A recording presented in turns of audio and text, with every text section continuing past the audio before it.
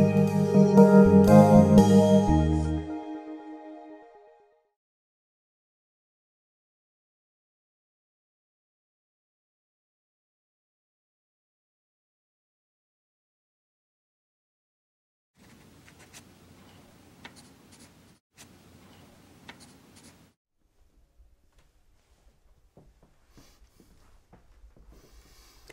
Last time we looked at Hegel's analysis of the importance of Socrates for Greek culture and for world history. Kierkegaard studied Hegel's text carefully, and in the concept of irony, he responds to it almost point for point. Our goal for the lecture today is to have a look at Kierkegaard's understanding of Socrates and to see where he agrees with Hegel and where he disagrees. We'll have a look at Kierkegaard's analysis of Socrates' daimon, the trial and conviction of Socrates, the relation of Socrates to the sophists and to the later schools of philosophy. We'll also see that Kierkegaard was quite exercised by Hans Lassen Martensen in his lectures at the University of Copenhagen. Today, we'll explore Kierkegaard's response to Martensen's article on Faust and Kierkegaard's two satirical works that were aimed at Martensen and his students, namely the concept between the old and the new soap sellers, and Johannes Climacus, or De Omnibus Dubitandum Est. Finally, we also want to introduce a lesser known Danish figure, Andreas Frederik Beck, who wrote the first book review of the concept of irony. This review is insightful in many ways. It gives us a brief snapshot into the contemporary assessment of the work, and we can also gain some insight into Kierkegaard's view of it when we see his negative reaction to Beck's comments.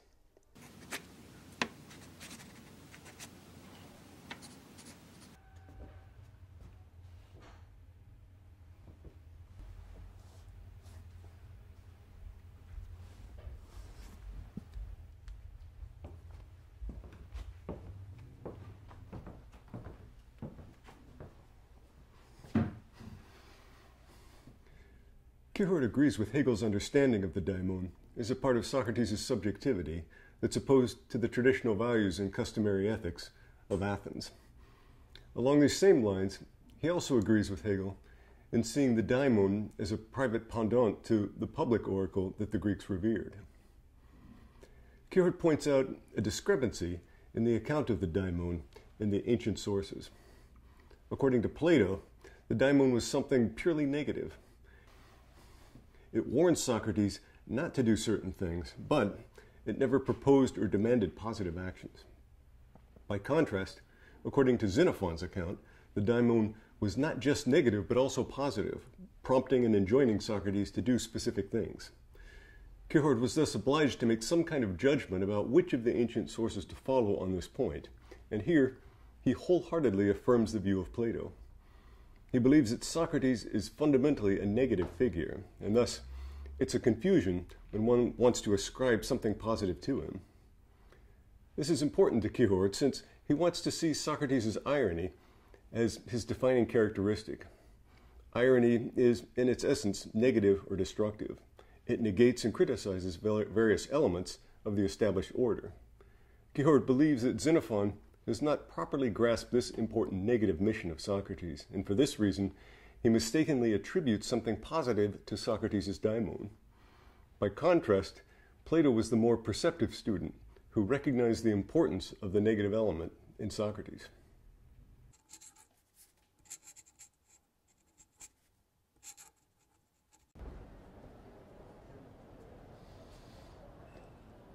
When Kierkegaard was growing up, the tragic drama Faust by the famous German writer Johann Wolfgang von Goethe was a very famous and much discussed work. When he was studying at the University of Copenhagen, Kierkegaard became very interested in this story and in the figure of Faust. In 1836, in his journal BB, he made a bibliography of different interpretations of Goethe's work and of the Faust legend generally. Kierkegaard was clearly planning to write something about Faust, perhaps an article or perhaps a monograph. Perhaps even thought it might be a possible topic for his master's thesis. In any case, he became very upset when, in June of 1837, Hans Lassen Martensen published an article in the first issue of the academic journal Perseus entitled observations on the idea of Faust with reference to Lenau's Faust. When he heard about this, Kierkegaard became very upset and wrote in his journal, Oh, how unlucky I am. Martensen has written a treatment of Lenau's Faust. Why was Kierkegaard so upset about this? Why was he so interested in the figure of Faust in the first place? The answer to these questions becomes clear when we take a brief look at Martensen's article. Instead of treating Goethe's well known version of Faust, Martensen chose instead to treat a version written by the Austro Hungarian poet Niembsch von Strehlenau, who wrote under the pseudonym Nicholas Lenau. On his journey, Martensen had met Lenau personally in Vienna and became interested in his work. Martensen saw in the figure of Faust, as portrayed by Lenau, a representative of the modern world. In his dissertation on the autonomy of human self consciousness, Martensen examined the concept of autonomy that is, the idea that humans could act on their own and determine the truth by themselves. He regarded this as a widespread and dangerous tendency in modern thought that led away from Christian belief. The figure of Faust represents exactly this principle. He's the symbol of modern secular knowledge. Faust embodies, quote, the deep feeling of the corruption of the human will, its desire to transgress the divine law, its arrogant striving to seek its center in itself instead of in God. According to the Christian view, humans are by nature sinful and ignorant. They can know nothing without the help of God.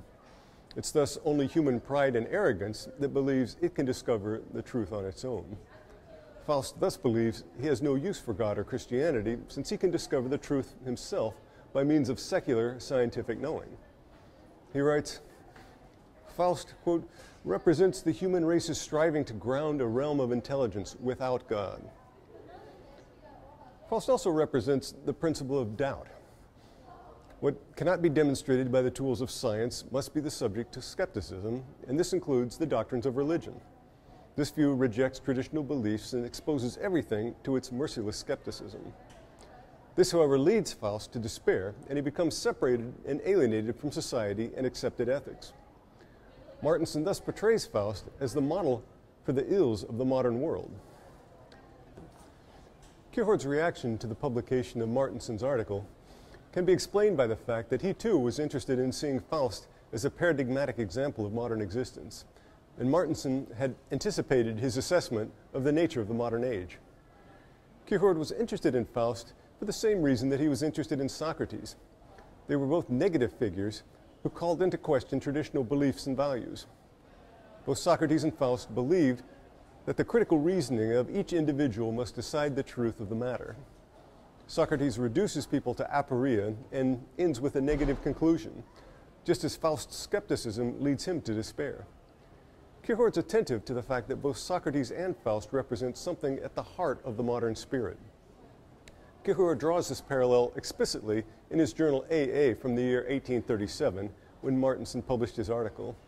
He writes, I quote, Faust may be seen as parallel to Socrates, for just as the latter expresses the severing of the individual from the state, so Faust, after the abrogation of the church, depicts the individual severed from its guidance and left to itself. Both Faust and Socrates represent an emphasis on the individual at the cost of a larger institution or aspect of the objective world.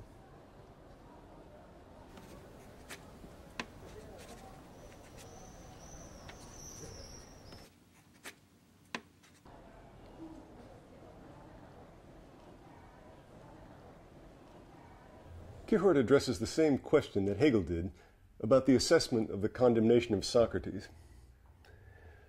Like Hegel, he's critical of what he calls the scholarly professional mourners in the crowd of shallow but lachrymose humanitarians, who regard Socrates as an honest and righteous man who was unfairly persecuted by the rabble. Also in agreement with Hegel, Kierkegaard sees the daimon of Socrates as something that clearly puts him at odds with the traditional religion. With regard to the question of whether Socrates was an atheist who rejected the gods of the state, Kierkegaard claims that this was based on a misunderstanding.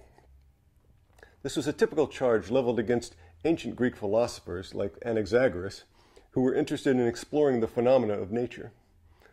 The Greek gods were conceived as closely related to the natural forces, for example, Zeus with lightning and Poseidon with the sea and with earthquakes. When the early Greek philosophers took it upon themselves to study nature, they distinguished themselves from the religious tradition that sees the gods as causal agents in nature. The early Greek philosophers developed the rudiments of what we know today as the natural sciences by trying to understand the phenomena of nature without the agency of the gods. Since they didn't make any appeal to the gods in their explanations of the natural world, there arose the suspicion that they didn't believe in the gods at all, and thus were atheists. Kierkegaard points out that this is a misunderstanding, since Socrates was never interested in the investigation of the natural scientific phenomena, and thus it's a mistake to associate him with these early Greek philosophers. Kierkegaard goes on to explain that the charge of atheism can best be understood in connection with Socrates' well known claim to ignorance. In other words, when Socrates claimed to know nothing, this was mistakenly taken to mean that he knew nothing about the gods worshipped by the state. But this was, of course, not the point of Socrates' self proclaimed ignorance. He clearly knew many empirical things about the world around him, but he claimed not to know the universals and was constantly trying to get people to formulate clear definitions of them. What is piety? What is justice? What is beauty? Kierkegaard claims that an important element in the condemnation of Socrates was that was what was regarded as his attempt to alienate individuals from the state. He brings this into connection with the famous maxim, know yourself. According to Kierkegaard, Socrates' understanding of this command was that each individual should seek the truth in him or herself. But this meant turning away from the world of objective truth, which included traditional ethics and religion. Kierkegaard explains, quote, a phrase know yourself means separate yourself from the other. So the individual is thus alienated from other individuals in society, since after the Socratic interrogation, it's impossible to continue to maintain the traditional values and customs as before. By means of his calling everything into question, Socrates destroys the individual's belief in all the things that hold society together. This is, according to Kierkegaard, rightly regarded as a dangerous matter. Quote, it's obvious that Socrates was in conflict with the view of the state. Indeed, that from the viewpoint of the state, his offensive had to be considered most dangerous as an attempt to suck its blood and to reduce it to a shadow. Given this, Kierkegaard agrees with Hegel that the Athenian state was justified in condemning Socrates since he was in fact a revolutionary figure who was undermining the foundation of the state. But it should be noted that he was not revolutionary in the sense that he was forming a specific political party or a positive platform. Rather, his mission was purely negative.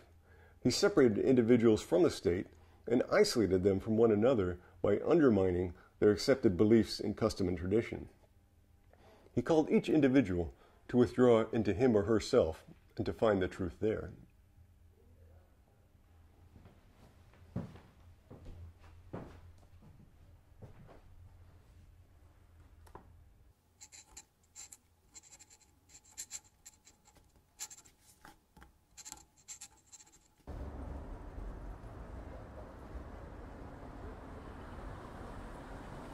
At the end of the chapter, The Actualization of the View, Kierkegaard gives an assessment of the last part of Socrates' trial, where he proposes his alternative punishment.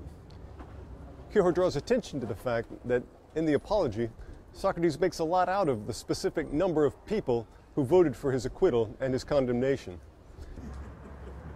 By doing this, Socrates regards the jury not as a collective whole or as the Athenian state as such, but rather as individuals each of them individually made a decision and cast his vote. Socrates thus recognizes the importance of the subjectivity of individuality of each person, but he refuses to recognize the authority of the abstract state or the collective whole. Here, Kierkegaard's in agreement with Hegel's account, which sees Socrates' condemnation as being the result of his refusal to accept the legitimacy of the court.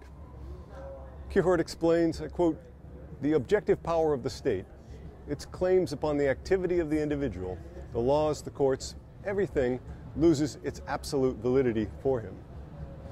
Kierkegaard sees Socrates as occupying a position of complete negativity towards the state. Socrates accepts the truth and validity of each single individual, but refuses to accept it in any collective group, the state, the jury, a political party, etc. Such groups undermine one's individuality and reduce people to the common mean. This view alienates Socrates from his fellow Athenians and is regarded as a real and serious threat to the state. Much of Athenian society was built upon principles of community and democracy, and thus to call this into question was very alarming for most people. So, according to this interpretation, the great menace to Greek society came not from the mighty forces of the Persian Empire, but rather from an impoverished old man. The tool used to undermine the Athenian state was not great armies or engines of war, but rather irony. Irony was a negative force that spared nothing in its path. The most sacred and time honored institutions of the Athenians were at grave risk.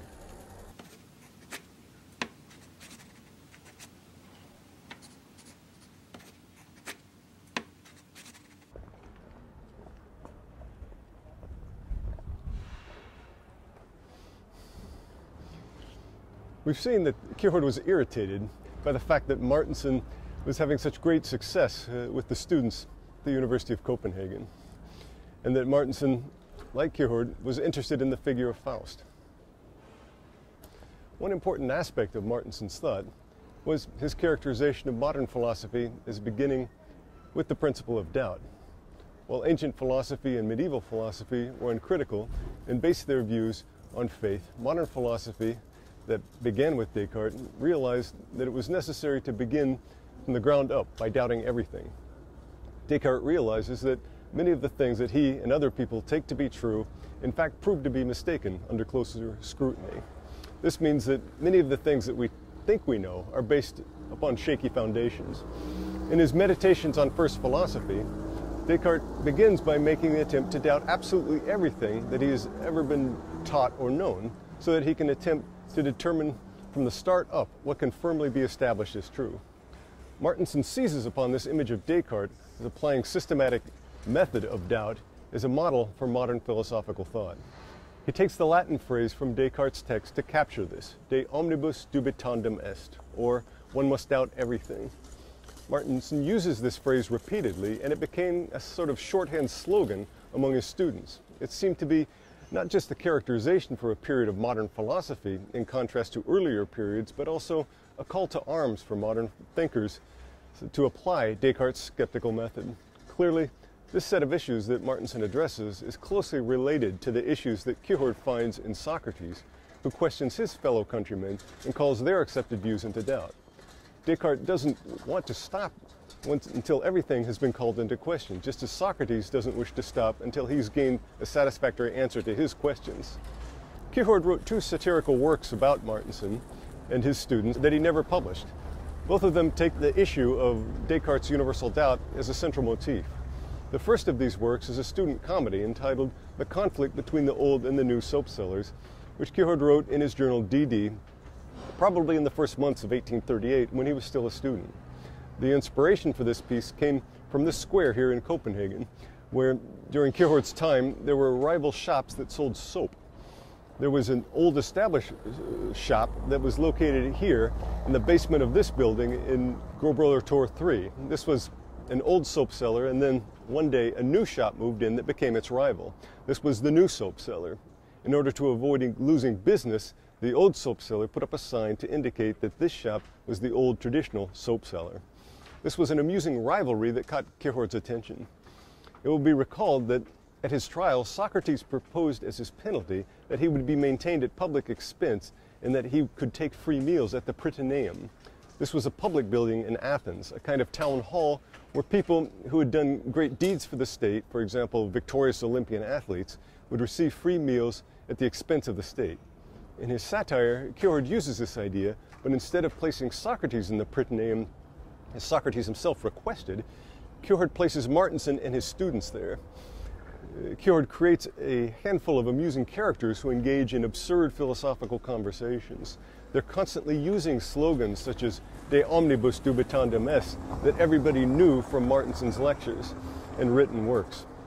In Act Two of this comedy, Kierkegaard creates the absurd situation of placing these comic philosophers in the Prytaneum.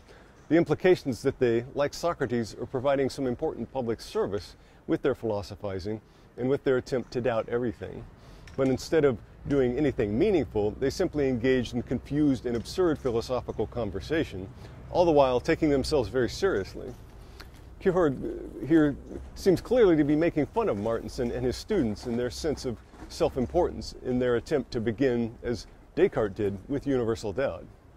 Now, what's interesting here when we consider this work as a satire on Martensen and his students was that Martensen himself, during this time, lived in a house just opposite the soap sellers. right?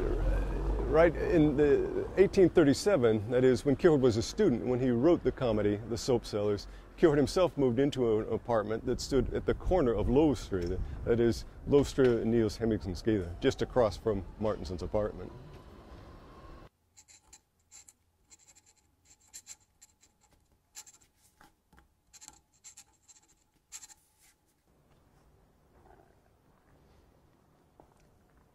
The other satirical work that Kierkegaard wrote but never published makes direct use of Martensen's slogan.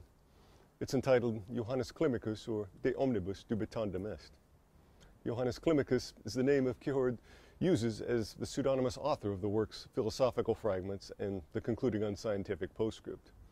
But this satirical text was apparently written at some point in 1843 before these two well-known pseudonymous books. Johannes Climacus is a name that Kierkegaard uses as the pseudonymous author of the works Philosophical Fragments and the concluding unscientific postscript. But this satirical text was apparently written at some point in 1843 before these two well-known pseudonymous books. De Omnibus tells the story of a young student named Johannes Climacus. He attends lectures here in one of the lecture halls at the University of Copenhagen and becomes interested in the philosophical discussions about the need to begin by doubting everything. Clearly, Kierkegaard intends Climacus to represent one of Martensen's students who's caught up in the flurry of interest surrounding Martensen's lectures. Much of the text is filled with a series of philosophical deliberations in which Johannes tries to determine exactly what is meant with the demand that one doubt everything in philosophy. There are three different variants of this uh, that he explores in turn. First, philosophy begins with doubt. Second, in order to philosophize, one must have doubted. And third, modern philosophy begins with doubt. In each case, he ends up in absurdities. Although Kierkegaard never finished this work, and it breaks off in the middle, the plot was apparently intended to end by showing how Johannes was reduced to despair in his attempt to follow the imperative of doubting everything. In a note, uh, Kierkegaard explains the plan for the work that he never realized. He writes, Johannes does what we are told to do. He actually doubts everything. He suffers through all the pain of doing that. When he's gone as far in that direction as he can go and wants to come back, he cannot do so. Now he despairs. His life is wasted. His youth is spent in these deliberations. Life has not acquired any meaning for him, and all this is the fault of philosophy. So the point seems to be that philosophy can have a negative, seductive effect on young people. Martensen has irresponsibly enjoined the students to doubt everything, but this would also involve doubting things such as one's religion, one's relations to family, community, and so forth. When one begins to doubt these things, then one isolates oneself. While it was intended as a kind of academic exercise, these young students take it seriously as a way of life and thereby come to undermine their own beliefs. But once one has reached this point, it's impossible to go back. Once one has begun the process of critical reflection, it's impossible to return and live in the uncritical intimacy of one's formal beliefs. This is the view that is suspicious of new knowledge, fearful of what it might bring. As was the case with Socrates, it separates the individual from their family and community. The conclusion of Kierkegaard's story is that Johannes ends in despair. He's destroyed by philosophical doubt.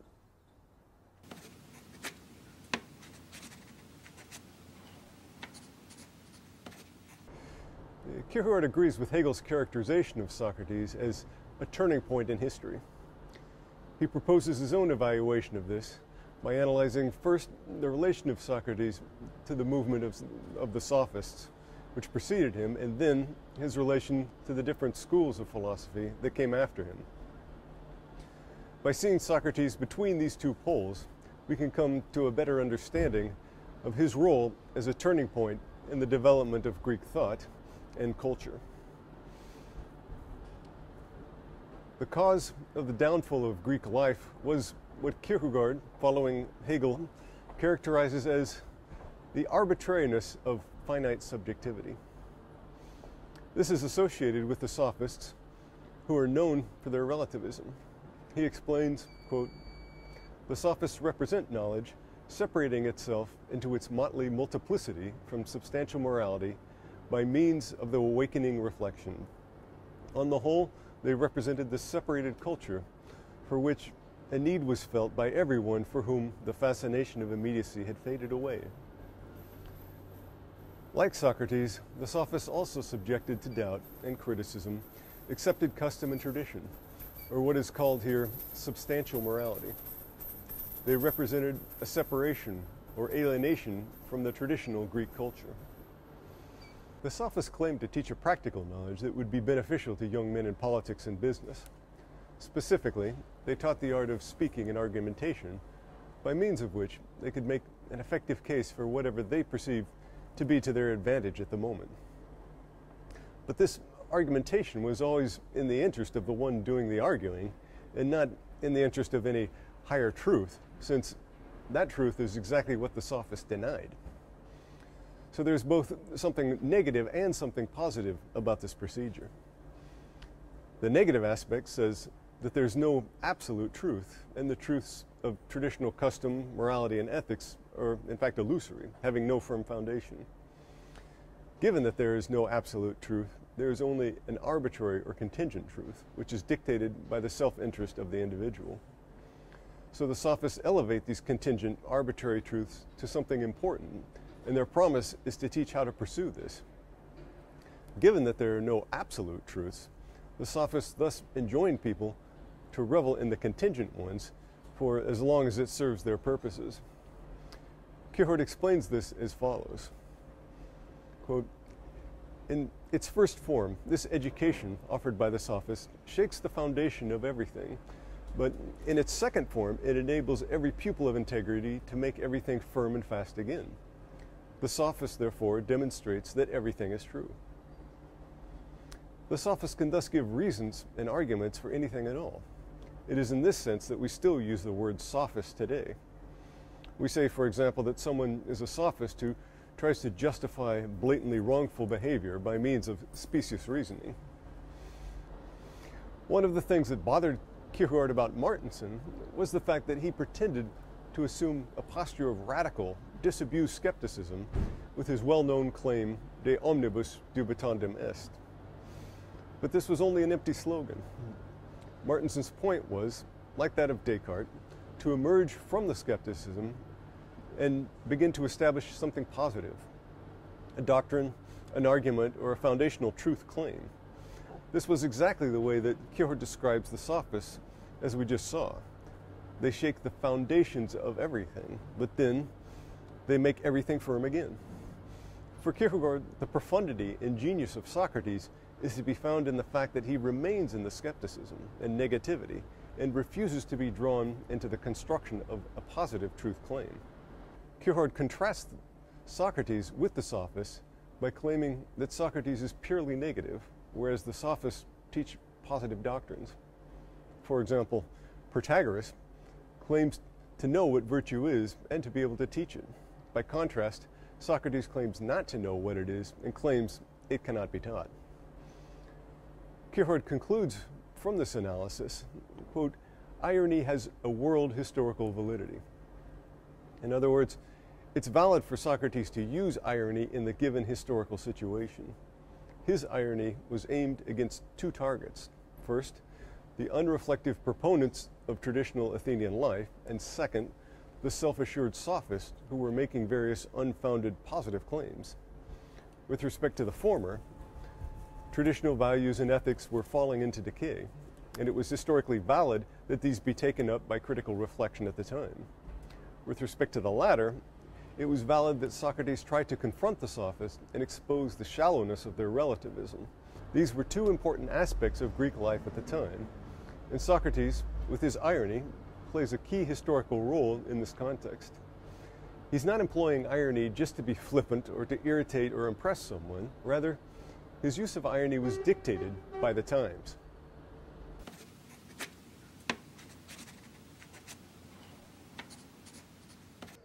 By Kierkegaard's time, it had become a standard motif to compare Socrates and his fate with Christ. Both were ethically righteous individuals, and both had been persecuted in legal proceedings and executed. There was a body of literature on this comparison which Kierkegaard was familiar with. One of the most important of these was the work of the theologian Ferdinand Christian Baur, entitled Das Christliche des Platonismus oder Socrates und Christus. It is on Christianity in Platonism, Socrates, and Christ from 1837. Kierkegaard refers to this work repeatedly in the concept of irony. In the New Testament, Christ is portrayed as struggling with the scribes and teachers of the law, known as the Pharisees, who insisted on strict observance of religious ceremonies and practices. In comparative studies like that of Baur, a parallel was often drawn with Christ's conflict with the Pharisees and Socrates' conflict with the Sophists. Kierkegaard makes this connection when he says, quote, the Sophists are reminiscent of the Pharisees. This gives us an important insight into the significance of Socrates for Kierkegaard. Initially, it was not clear why he would be so interested in Socrates, a pagan philosopher, if his primary goals had something to do with a specific understanding and appreciation of Christianity. Here we see the connection. Socrates is like Christ, and the sophists are like the Pharisees. So, although Socrates is a pagan philosopher, he displays some important points of commonality with the message of Christ that Kierkegaard believes has been forgotten. Thus, by making use of some of Socrates' ideas and methods, Kierkegaard believes that he can bring some insight into what he takes to be the confused understanding of Christianity in his own day.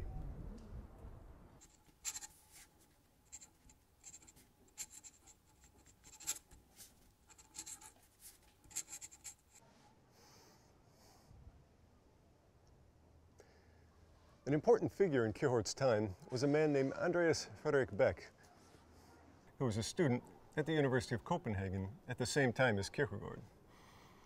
He was influenced by the German theologian David Friedrich Strauss, who had been a student of Hegel in Berlin.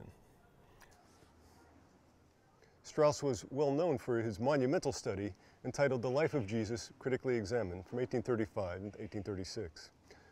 This work was controversial in the German-speaking world since it examined the gospel texts in great detail and tried to argue that the stories related about Jesus were by and large myths. Indeed, the work cost Strauss his position at the University of Tübingen. Later, in 1839, after it was thought that the controversy had died down, Strauss was appointed to a position at the University of Zurich in Switzerland, but when this was made public, it evoked such large protests that the university couldn't go through with the appointment. Beck was interested in bringing Strauss's approach to Denmark. At the time of Kierkegaard's dissertation in 1841, Beck was working on a book entitled The Concept of Myth, or The Form of Religious Spirit, which would be published the next year. As a student, Beck lived here in Borch's College, one of the old colleges of the University of Copenhagen. Beck knew Kierkegaard personally and was keenly interested in the concept of irony. During the public defense of a dissertation, it was possible for people from the audience to ask questions about the work, and Beck was one of these questioners. The following year, Beck wrote a review of the concept of irony, which appeared in the periodical The Fatherland. We're joined today by Professor Brian Soderquist, one of the leading international experts for the early Kierkegaard. What was Beck's interest in Kierkegaard's work?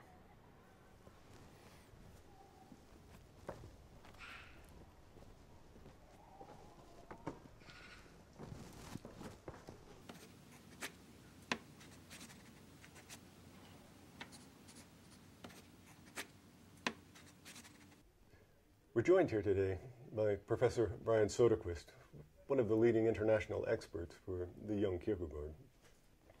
And so, what was Beck's interest in Kierkegaard's work?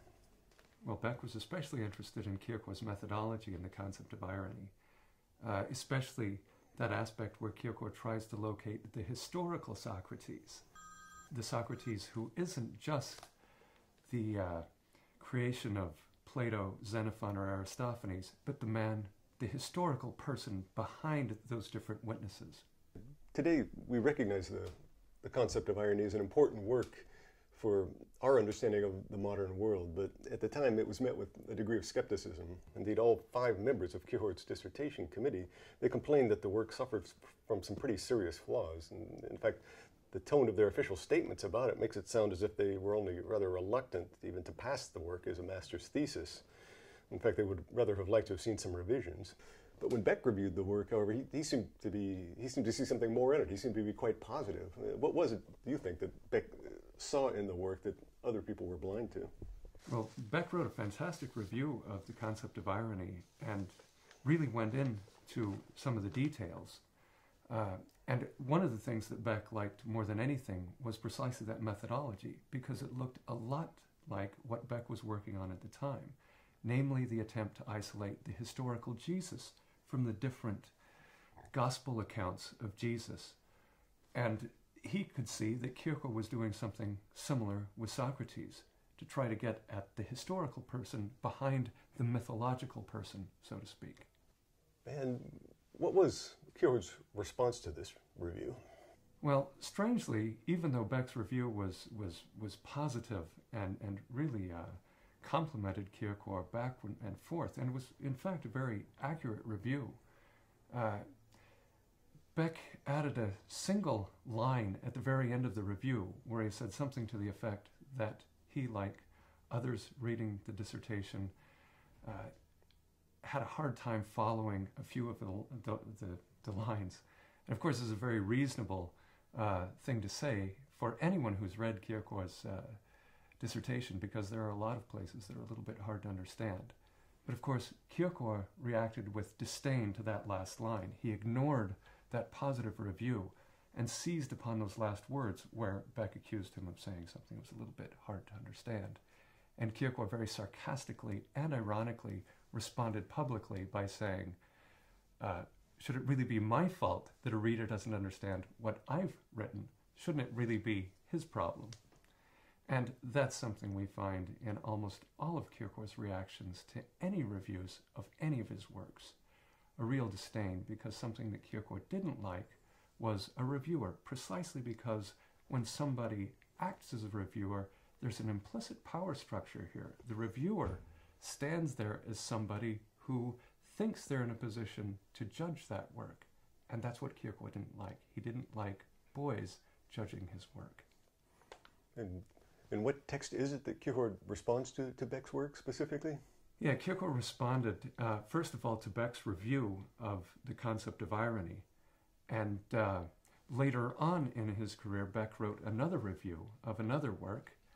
And uh, in that work, Kierkegaard was equally dismissive, this time accusing Beck of not understanding the nuance of his irony, giving a very clear account of the dialectical, that is, the philosophical content, but failing to note how ironic that whole work was. So, in Kierkegaard's article in, in response to, to Beck's review, called Public Confession, so in your opinion, he, he doesn't really uh, enter into any uh, academic exchange with, with Beck's actual comments about the concept of irony. No, he doesn't. He really do- ignores Beck's substantive critique. And this is really very consistent with what we find in other Kierkegaardian responses to reviews. He ignores almost entirely any kind of substantive philosophical or theological debate and gets right at some kind of ironic or sarcastic uh, response. And uh, I think in that sense, we, we, we see some of the tensions between Kierkegaard and uh, his, his, his contemporaries, and we really see that Kierkegaard wasn't interested in an academic debate about his thought.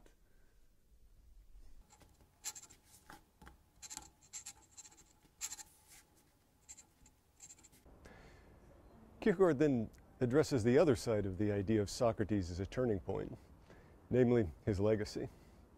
Socrates gave rise to a number of different and often competing schools of philosophy in antiquity.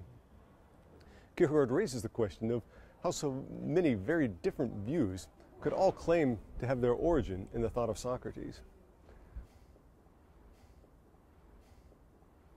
One might be tempted to think that his legacy is due to the fact that he had many different kinds of doctrines that were attractive to different philosophical directions.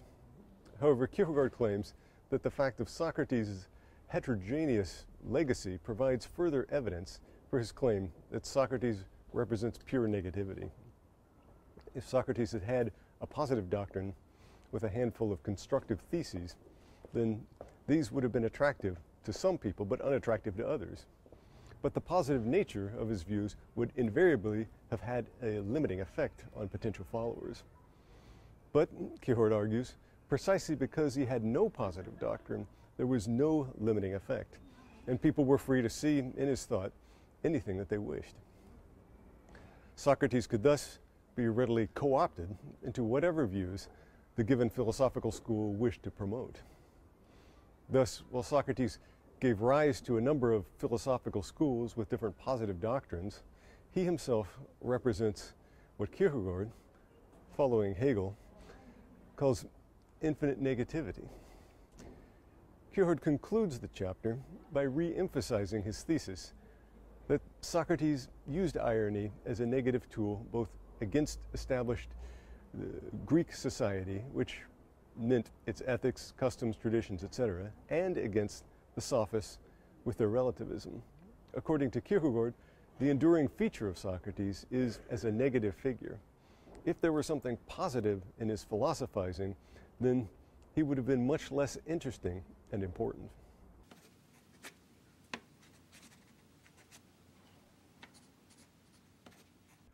After reading the text and watching this lesson, some of you might think that Kierkegaard's understanding of Socrates is mildly interesting, or that his satire of Martensen is a little bit funny, but you might be asking yourself how any of this is relevant for you in your lives today. Who cares if Kierkegaard agreed with Hegel that the Athenians were justified in prosecuting Socrates? Who cares that Kierkegaard mocked a lecturer at the University of Copenhagen in the late 1830s? Aren't these just issues for professional philosophers or historians of ideas?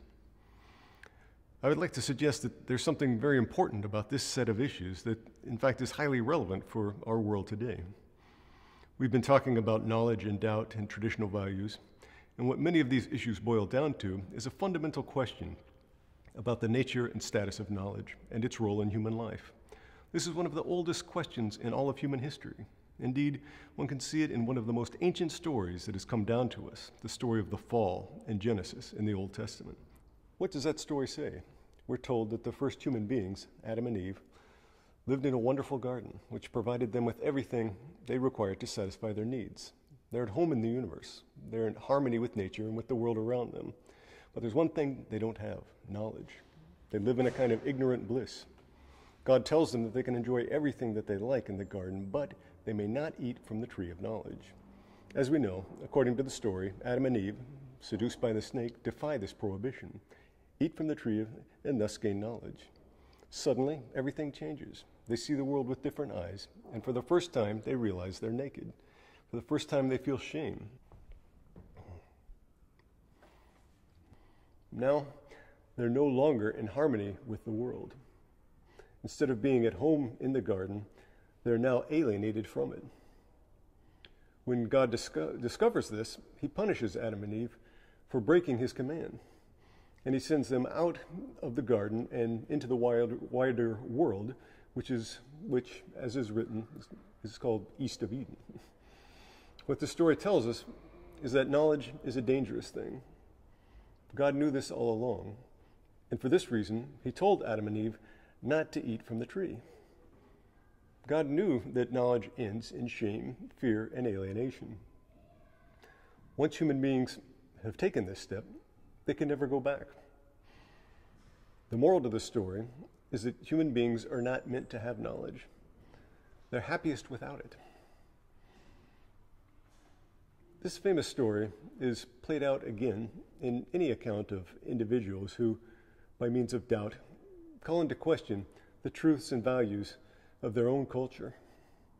At first, when we were children, we lived in immediate harmony with family, culture, and society that surrounded us. But then, as we grow up, we reach a point where we naturally begin to question certain things that were taught when we were young. When we come to realize that our parents and our leaders are in fact fallible, this knowledge begins to alienate us from the world around us. Figures like Socrates, Faust, and Johannes Climacus doubted the fundamental things about their culture in the name of the search for knowledge. But this search alienated them from the world. Knowledge is a dangerous thing, and the defenders of traditional values and institutions fear it. But there is another perspective on this issue that comes from the Enlightenment. According to this view, human beings, as Aristotle says, by nature desire to know. Knowledge is what separates us from the animals, is what makes human beings what they are. Our very humanity lies in our ability to think rationally and to examine our beliefs critically. As Socrates himself says, the unexamined life is not worth living. Due to the acquisition of knowledge, human beings have the ability to reshape their natural environment in order to make it more conducive to human life. Throughout all of history, human beings have struggled to improve things by means of their ability to acquire new knowledge. There have been great social advances when people realized that certain institutions were oppressive. For example, slavery was abolished, and basic human rights were enshrined in the constitutions and laws of different countries. There has also been great advances in many different fields of the sciences. And these advances have concretely improved the lives of people. For example, the elimination of diseases such as smallpox and polio, the advances in dentistry and anesthesiology, and one could go on and on with examples. The advocate of this view claims it would be completely absurd to try to deny these advances, and that the entire weight of human history supports the famous adage that knowledge is power. According to this, anyone who wishes to try to suppress knowledge is blinded by a backward superstition. Who would want to repeal the idea of human rights? Who would want to go back to a day when there was no defense against disease or infection? Today, I suppose that most of us would probably side with the person representing this Enlightenment view. But for this class, for example, we have thousands of online students from around the world. All of you have decided to take this course because you wanted to learn something about Soren Kierkegaard. You wanted new knowledge that uh, you didn't have before. You value knowledge and you believe that it's somehow important to have. Moreover, the very idea of these kinds of open online courses says that knowledge should be free and open to everyone and should not be the private domain of specific individuals, for example, in government or elite universities. Everyone should have the opportunity to learn and to acquire new knowledge. While this seems, on the face of it, to be very straightforward, our modern world renders this picture very problematic. It raises difficult questions that need careful consideration. Well, it's true that knowledge has brought us many things that have improved the lives of people around the globe. It's been a double edged sword. It has also brought us terrible things. Knowledge and science has given us, for example, chemical, biological, and nuclear weapons that could potentially destroy all human life on the planet. World War I and World War II were fought with advanced weapons that cost the lives of millions. The Holocaust could never have taken place if it were not for the development of new technologies based on new knowledge. Today, we have major environmental problems such as global warming and the destruction of the ozone layer that are caused by the byproducts of human technology. Now, while it's true that knowledge and technology have helped us to improve our environment, they're also proving equally effective in destroying it.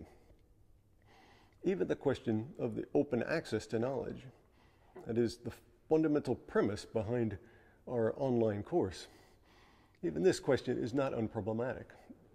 What does it mean to share knowledge?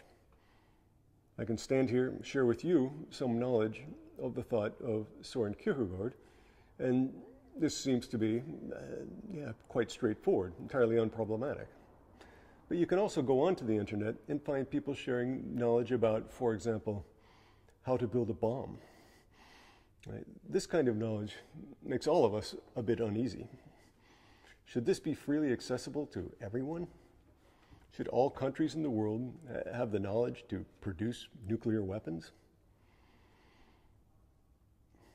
Once human beings start out on this road to reason, science, and technology, there's no way back. It's a one way street. Once people discover how to make a nuclear weapon, the genie is out of the bottle and can't be put back. As Kierkegaard says of his character, Johannes Climacus, once he begins to doubt, and once he starts this process and becomes he then becomes alienated from the world around him, then he can't return to his previous state of innocence. With considerations of this kind, we can begin to see the point behind the story of the fall in Genesis. The world east of Eden is a dangerous and uncomfortable one. Likewise, the stories of Socrates, Faust, and Johannes Climacus, they're not just tales from a distant past. On the contrary, they're the story of our perilous world in the 21st century.